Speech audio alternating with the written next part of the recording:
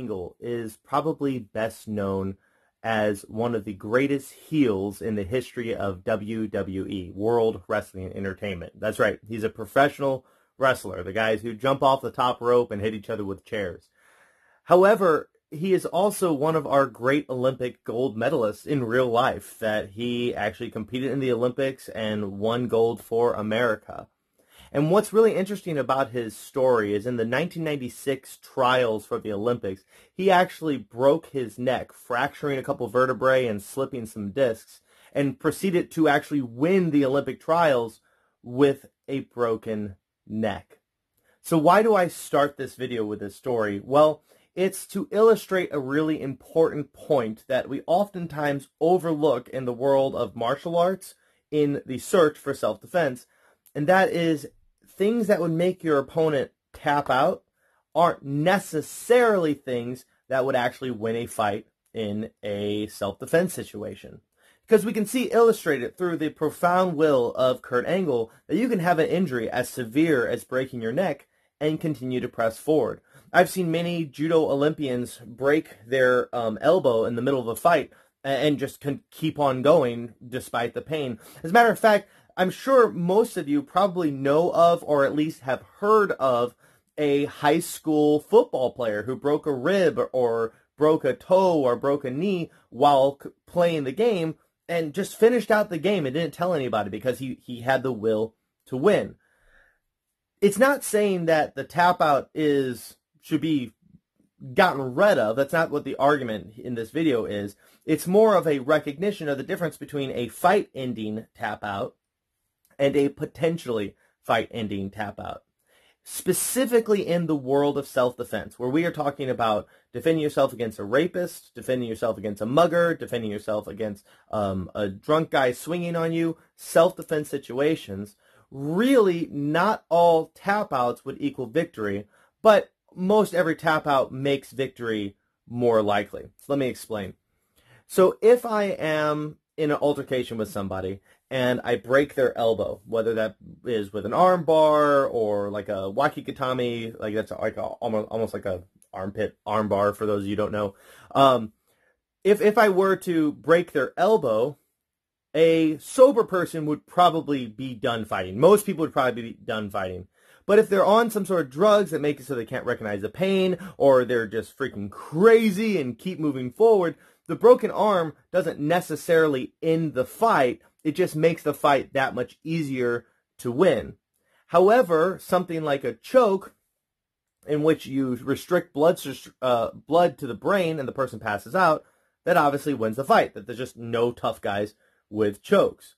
And so when we're practicing self-defense, we want to think about becoming experts in the tools that in the fight guaranteed, not necessarily the tools that might win the fight.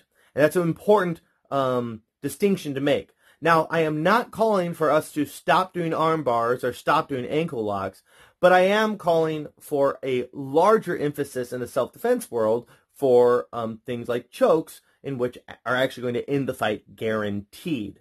So if you're rolling with someone or you're practicing grappling with someone and you're striving to become a self-defense expert, instead of considering all taps equal, instead consider that you have different layers of taps.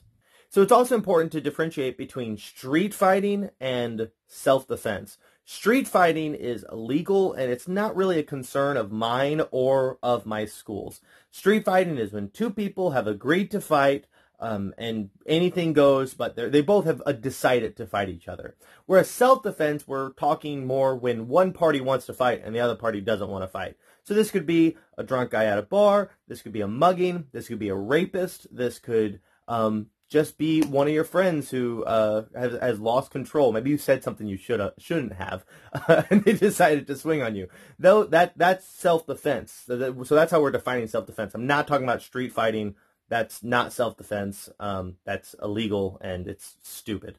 So in the world of self-defense, chokes are pure self-defense, whereas joint locks are powerful tools to aid you in winning the fight.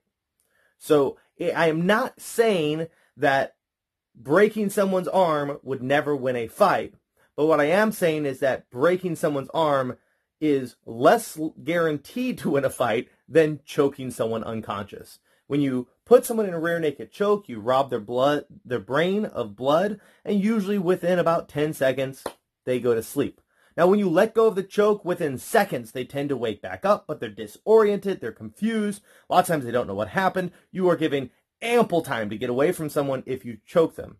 However, as we can see through the illustration of Kurt Angle, that extraordinary damage to the body under the right circumstances can be ignored. You can break someone's elbow and they can keep moving forward. You can snap someone's wrist and they can keep moving forward.